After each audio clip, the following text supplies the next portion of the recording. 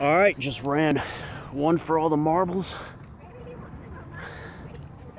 And that was pretty nice. And uh, for the second straight week in a row, Mr. Met won, and Mr. Met went balls out. I'm telling you, of the, of the choices, picked a place I've never been before called Brothers Italian. You guys can Google it, look it up. It's out BFE.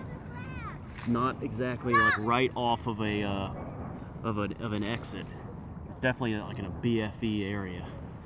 So that could be mean it's terrible food, or it could mean it's awesome. I have no idea. But I will do a video about it.